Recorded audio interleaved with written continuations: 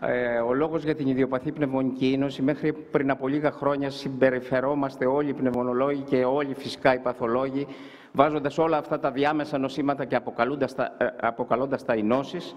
Σήμερα έχουν αλλάξει πάρα πολύ. Γίνεται προσπάθεια τόσο στη διάγνωση όσο και στη θεραπεία του νοσήματος αυτού.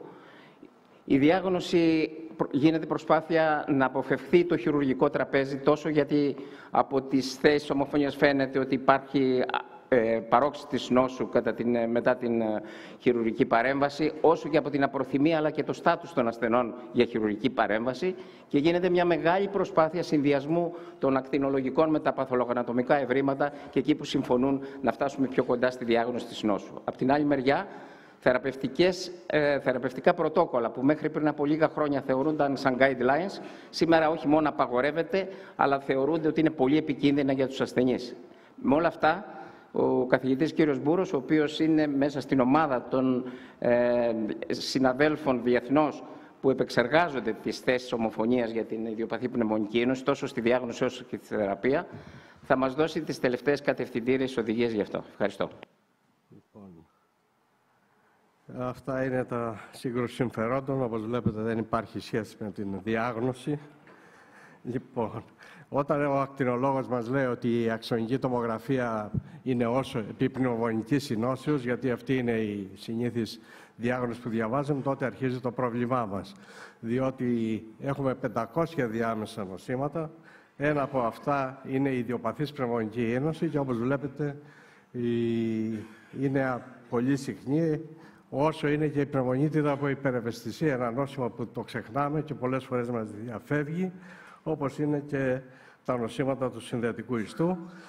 Αυτή η διαφάνεια είναι από το 2013 που λέει ποια είναι η σύγχρονη ταξινόμηση της κατηγορίας εκείνων των διαμέσων πνευμονοπαθειών που λέγονται ιδιοπαθείς διάμεσες πνευμονίες. Το πνευμονίες ως Έλληνας το απορρίπτουμε, εννοείται, μόνο που διεθνώς δεν μπορούμε να το περάσουμε. Δεν είναι πνευμονίες, μην δίνετε αντιβίωση δηλαδή. Η η επιτροπή αυτή ήταν ο, ο Bill Travis από το Memorial στη Νέα Υόρκη. Το βλέπετε εδώ. Όμως παρόλα αυτά βλέπετε ότι ένα ποσοστό παρά την καλή δουλειά που μπορεί να κάνουμε και σε έμπειρα κέντρα παραμένει αταξινόμητη. Αυτή η διαφάνεια δείχνει ποια είναι η επικάλυψη των ινωτικών α, παθήσεων. Μπορεί να είναι φάρμακο, σαρκοείδωση, μπορεί να είναι ε, χρονία, πνευμονία από υπερευαισθησίας, νοσήματα του συνδετικού ιστού. Επομένως, πρέπει όλα αυτά να τα αποκλείσουμε και να μείνουμε και να δούμε πώς μπαίνει η διάγνωση της ιδιοπαθούς πνευμονικής σύνωσης. Αυτό είναι το παλαιότερο, η παλαιότερη οδηγία του 2011, την οποία ε, βγήκε αφού κάναμε διάφορες συναντήσεις από το 2008 και μετά. Και βάσει αυτής λέει ότι πρέπει να αποκλείσει όλα τα άλλα τα νοσήματα, ένα πολύ δύσκολο task για να το κάνει κανείς και να έχετε UIP pattern είτε στην υπολογιστική τομογραφία είτε στην βιοψία. Το πρόβλημα ποιο, ποιο είναι ότι βλέπετε στο εξωτερικό πολλές φορές καθυστερεί μέχρι και 7 μήνες να μπει η διάγνωση και περισσότερο από δύο χρόνια στο 28%. Ο μέσος αριθμός των γιατρών που συνήθως οι άρρωστοι αυτοί περνάνε για να φτάσει μέχρι την τελική διάγνωση είναι από 3 έως 6 και οι μισοί παίρνουν λάθος διάγνωση στην αρχή. Επομένως, αντιλαμβανόμαστε το πρόβλημα που έχουμε είναι διαγνωστικό στην ιδιοπαθή πνευμονική ίνωση και τι σημαντικό είχαμε τον τελευταίο χρόνο. Είχαμε ένα πρώτο paper από την περίφημη Fleissner Society, το White Paper, και έρχεται και τον Οκτώβριο και βγαίνει και το τελικό κείμενο μετά από πολλές συναντήσεις που είχαμε της ATS, ERS, Japan και Latin American Societies. Θα δούμε τα δύο αυτά κείμενα, τις ομοιότητες που είναι πάρα πολλές και ελάχιστες διαφορετικές. Αυτή είναι μία από τις συναντήσεις και οι ερωτήσεις της ATS ήταν δύο ειδών. Αυτές που λεγόταν motherhood questions, δηλαδή αυτονόητες. Πρέπει να παίρνουμε ιστορικό. Αυτονόητο είναι ότι θα απαντήσουμε ναι. Υπάρχουν και άλλες ερωτήσεις που λέγονται πίκο. για αυτές, αν δεν έχουμε χρόνο, αν θέλετε να σας το εξηγήσω στο διάλειμμα ή στο τέλος. Τι ερωτήσεις είναι αυτές; Πρόβλημα, ποια είναι η παρέμβαση, πώς συγκρίνεται με μία άλλη εξέταση και ποιο είναι το outcome, δηλαδή το αποτέλεσμα. Αυτές οι δύο βασικές προσεγγίσεις είναι σήμερα το πώς βγαίνουν οι διεθνείς οδηγίες. Έτσι. Λοιπόν, εδώ φαίνεται στη σύνοψη οι δύο οδηγίες, της ATS και της Fleissner. ATS 34, 34 μέλη, Fleissner 17, οι 8 ήταν οι ίδιοι και στη μία οδηγία και στην άλλη. Και βλέπετε τις διαφορές. Οι, τις ATS είχαν και evidence-based και ήταν οι pico questions που σας είπα πριν και δεν υπήρχε expert opinion. Το expert opinion είχε η Fleissner Society. Expert opinion δεν είναι ισχυρό χαρτί. Ε; Και αν υπήρχε και grading στις ε, recommendations. Ισχυρή, conditional, strong κτλ. Άρα λοιπόν από μία ματιά βλέπετε ότι περισχύει μεθοδολογικά της ATS και η Επιτροπή είχαμε να απαντήσουμε είτε ισχυρά υπέρ ή κατά ή conditional, λοιπόν προϋποθέσεις. Και όσοι δεν ήταν σχετικοί απήχαν από την ψηφοφορία. Άρα λοιπόν βλέπετε ότι όταν λέμε strength recommendations υπέρ ή κατά, εννοούμε ότι οι περισσότεροι γιατροί και ασθενείς θα κάνουν αυτό το πράγμα. Όμως η δυσκολία που έρχεται, έρχεται στις conditional όταν λέμε σύσταση conditional, σημαίνει ότι υπάρχουν διάφορες επιλογές για τους ασθενείς και πρέπει να βοηθήσει ο πνευμονολόγος τον κάθε ασθενή να αποφασίσει ανάλογα με τις αξίες και τις προτιμήσεις του. Έτσι. Άρα λοιπόν ο γιατρός σε αυτή την περίπτωση αναμένεται να αφιερώσει περισσότερο χρόνο με τους ασθενείς για να αποφασίσουν. Ο ορισμός είναι γνωστός, είναι η νοτική η πνευμονοπάθεια στα μεγάλα άτομα, UAP το pattern και κυρίως οι άρρωστοι έχουν δύσπνοια εξελισσόμενη, βήχα, ακροαστικά, κλάμπινγκ ε, από πλευράς ευρημάτων. Ένας αλγόριθμος τον έχετε δει και στο παρελθόν. Στο ιστορικό τι, θα, τι είπαμε, ότι είναι motherhood question και συνιστούμε σε όλους να γίνεται λεπτομερής λή, λήψη ιστορικού, με όλα αυτά που διαβάζετε από κάτω. Επόμενη είναι η φυσική εξέταση. Αναμενόμενο είναι και αυτή η motherhood questions. Παράδειγμα, το clubbing είναι ένα συχνό έβριμα και πρέπει να το αναζητούμε. Όμως υπάρχει και το ακροαστικό έβριμα, αυτά που λέμε velcro, αυτά που οι παθολόγοι λένε τρίζοντες, αυτά που εμείς το λέμε λεπτή, τελοεισπνευστική, μη μουσική ρόγχη. Και υπάρχει και αυτό το στιθοσκόπιο, το οποίο όπου να είναι θα βγει και στην αγορά, το οποίο είναι digital, το οποίο όπως βλέπετε μπορεί με artificial intelligence να μας πει τι νόσημα έχουμε από κάτω.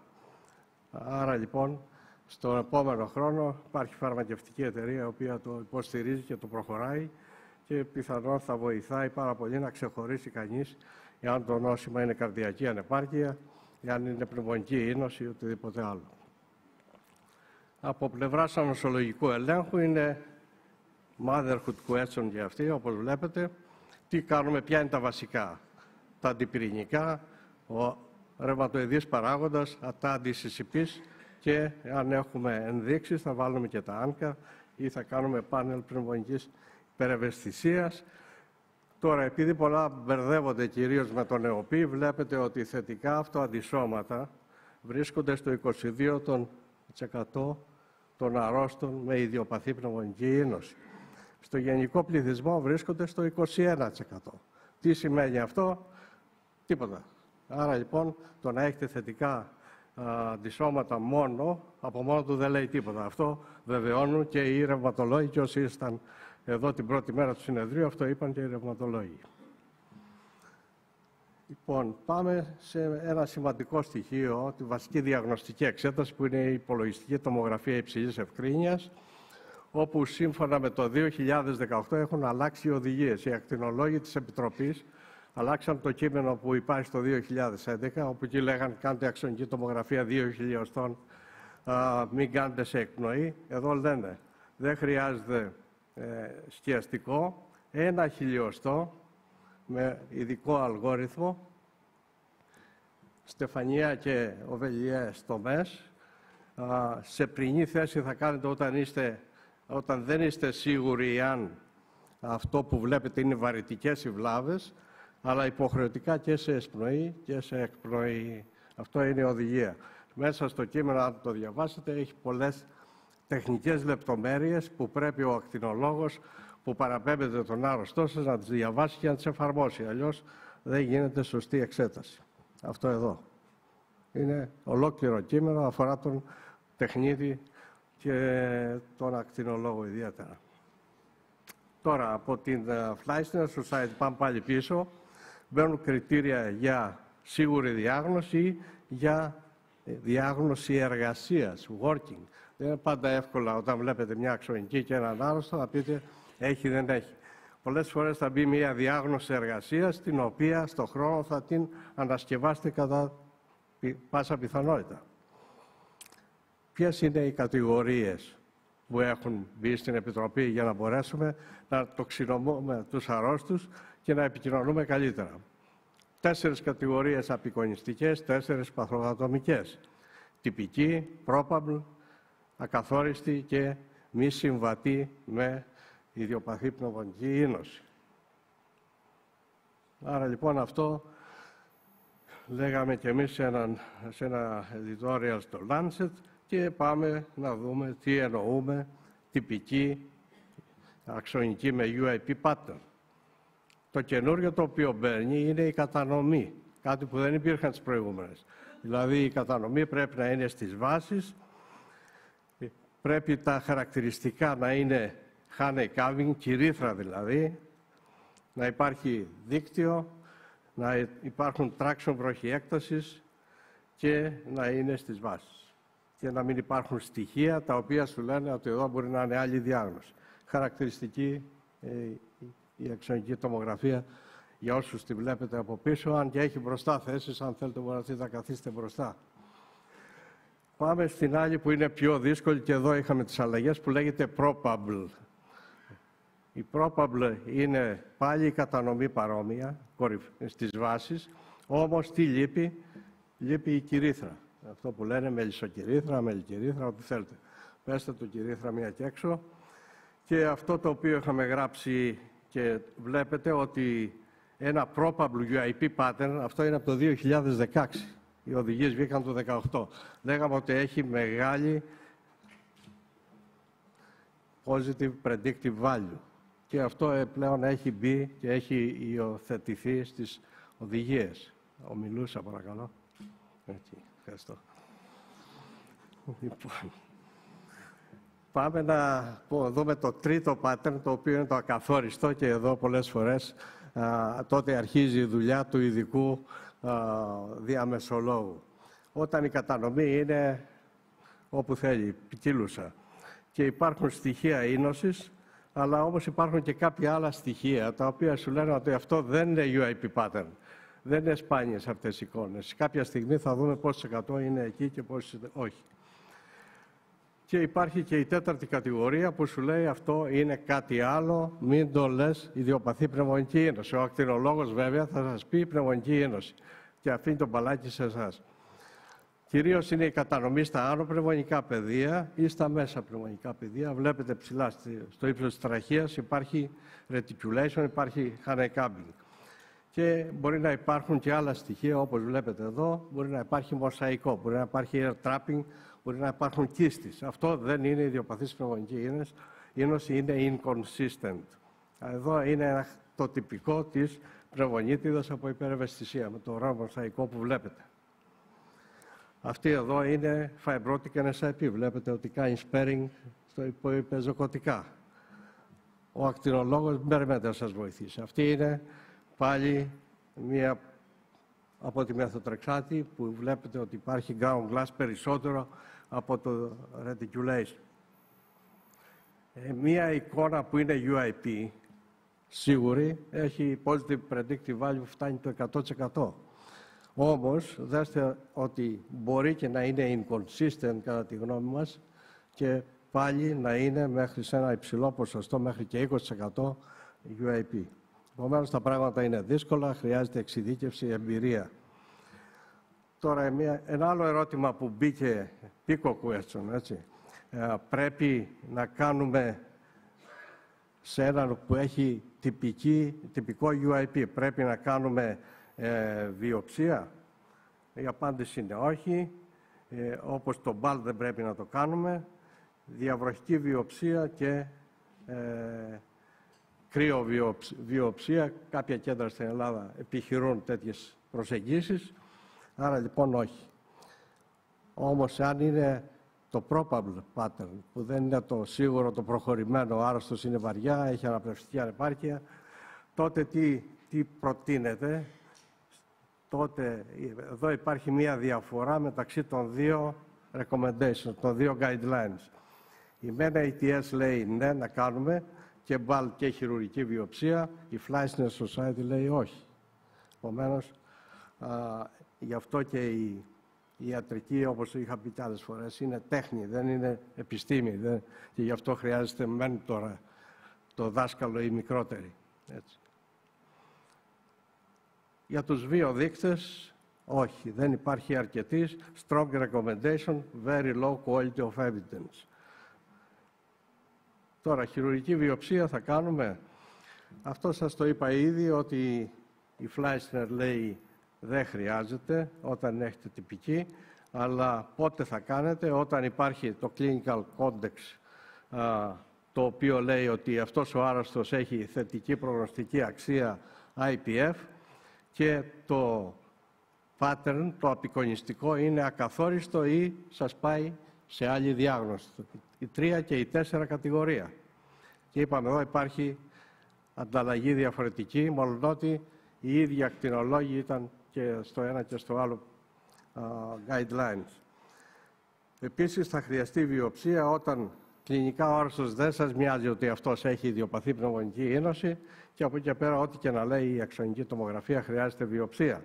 Ποια βιοψία; Εννοείται ότι θα κάνετε βάτς, το αποτέλεσμα θα το πάρετε από τον παθολογατόμο και πρέπει και αυτός να σας απαντήσει είναι καθοριστικό, είναι probable, είναι ακαθόριστο ή δείχνει κάτι άλλο.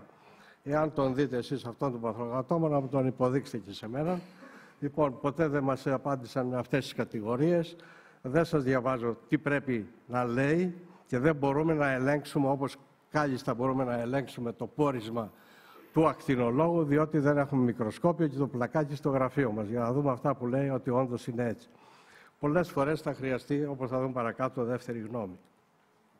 Τι θα δούμε, αυτή την ανομοιογένεια, εναλλαγή φυσιολογικού παρεγχήματος με αυτή την αιστεία που λέγεται εινοβλαστική αιστεία, αυτή που κάνει τη ζημιά και περιοχές που έχουν πυκνή ίνωση. Αυτή είναι τυπική που κανείς πρωτοετής ειδικευόμενος μπορεί να το διαγνώσει.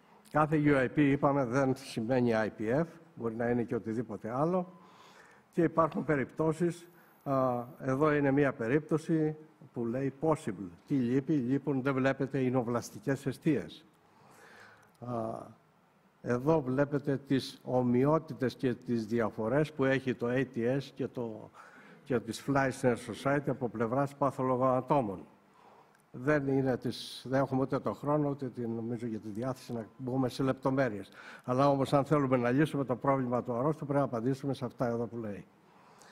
Άρα λοιπόν πώς μπαίνει η διάγνωση, αποκλείοντας άλλες παθήσεις, όπως είναι η έκθεση, τα ανασολογικά, τα ρευματολογικά νοσήματα, παρουσία UIP ή τρίτον, που είναι καινούριο πλέον, όπως το βλέπετε δεν το είδαμε στο 2011, η παρουσία specific combinations. Θα δούμε τι εννοούμε ορισμένες ειδικές, ειδικοί συνδυασμοί. Αυτή εδώ είναι το specific combination και είναι ένας πίνακας που δημοσιεύθηκε πρόσφατα στο Lancet που λέμε ότι Εάν βάλουμε τις τέσσερις κατηγορίες απεικονιστικές και τις τέσσερις ιστολογικές, αλλά αν προσθέσουμε στο κείμενο και μία άλλη κατηγορία αρρώστων που δεν θα κάνουν χειρουργική βιοψία, βλέπετε ότι έχετε 4 επί 5, 20 συνδυασμούς. Και πρέπει εσείς να δείτε, είναι τόσο εύκολη η διάγνωση που φαίνεται στα πράσινα, είναι σίγουρα όχι που φαίνεται στο κόκκινο ή είναι αμφίβολα εδώ πέρα μέσα. Εδώ συνήθως θα χρειαστεί εμπειρία και θα χρειαστεί κυρίως δεύτερη γνώμη από παθρογατόμο αναφοράς. Και αυτό δείχνει την καθημερινότητα ενός διαμεσολόγου. Ο κλινικός προσπαθεί στο γήπεδο του τέννις να βάλει το μπαλάκι, ο ακτινολόγος είναι πίσω από την κάμερα, σας είπε πάρτε ένα ρεπόρτ και ο παθρογατόμος κάθεται και αγναντεύει.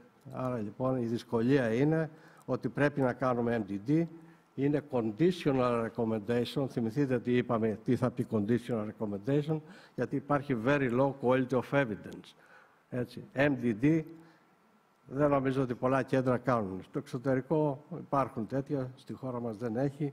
Επομιζόμαστε το βάρος όσοι ασχολούμαστε κλινικά με αυτούς να βγάλουμε διάγνωση. Αυτό είναι το διαγνωστική προσέγγιση, το MDD που λένε το Διεπιστημονικό Συμβούλιο, όπου ο κλινικός, ο πρώτος που θα έχει τον άρρωστο, ο οποίος μπορεί να είναι παθολόγος, γενικός γιατρός, ο πνευμονολόγος, ο ιδιώτης, ο οποίος μαζί με τον πνευμονολόγο αναφοράς θα κάτσουν κάτω, θα δουν τα data, θα ζητήσουν υπολογιστική τομογραφία αξιόλογη και αξιόπιστη, παρεπιπτόντως στο κείμενο των ακτινολόγων οδηγία από προς τους ακτινολόγους είναι να μην εκθέτουν τον άρρωστο σε πάνω από ένα μιλισίβ ή να μην κάνουν πολύ μικρή έκθεση όπου δεν βλέπεις τίποτα. Άρα λοιπόν οι ρυθμίσεις του αξονικού δεν είναι τόσο εύκολες. Πρέπει ο τεχνίτης να έχει διαβάσει τις οδηγίες και να καταλάβει τι πρέπει να κάνει. Συνήθως έρχεται ο άρρωστος με μία αξονική, ζητάμε πάντα το CD, αν δεν το έχει το στέλνουμε να το ξαναφέρει, να πάει να το βρει και ίσως και δύο και τρία και τέσσερα CD, τα οποία κανένα δεν πληρεί τον όρο της ε, τεχνικής που απαιτείται. Ο παθρογατόμος, προφανώς εδώ, ποιος λείπει, λείπει ο ρευματολόγος. Ο ρευματολόγος είναι καθημερινή ανάγκη, διότι το 20% όπως είδατε των διαμέσων έχουν ρευματολογικό νόσημα και, και πνευμονική ίνωση.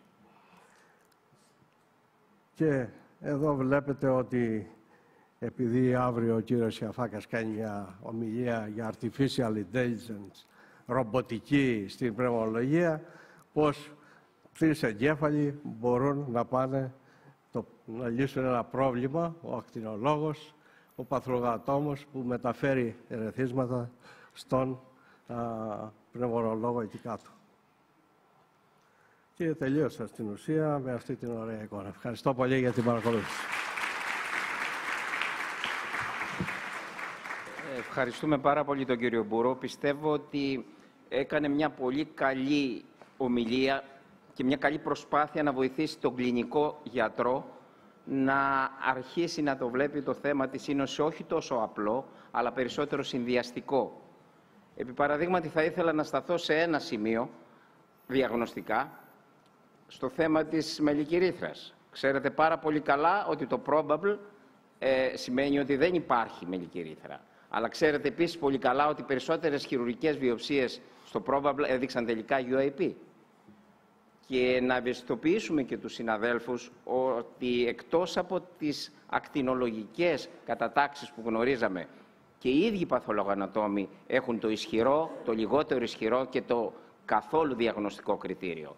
Δηλαδή αυτό που είπε ο κύριος Μπούρος, αναζήτηση συνοβλαστικών αιστειών. Πόσες συνοβλαστικές αιστείε υπάρχουν, πάρα πολλές. Σημαίνει ισχυρό κριτήριο. Δηλαδή, μην παίρνουμε μόνο την τελική έκθεση του παθολογανατόμου και να λέμε UIP.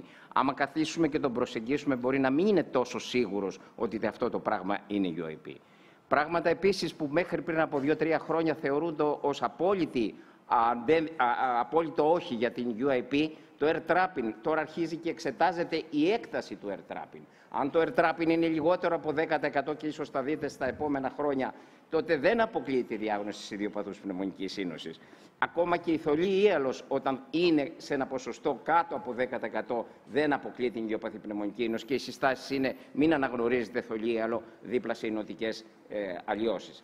Επομένως, το μήνυμα ίσως είναι έγινε ένα βήμα να μην είμαστε τόσο χαρούμενοι ότι βρήκαμε τα πάντα, ότι ανακαλύψαμε την άνοση, αλλά να είμαστε πιο προσεγγιστικοί προς τον ακτινολόγο, τον ειδικό ακτινολόγο που θα μας βοηθήσει και τον ειδικό παθολογαντόμο και τον ρευματολόγο, ώστε να κάνουμε μια ομάδα για να μπορέσουμε να βοηθήσουμε κυρίως τον ασθενή.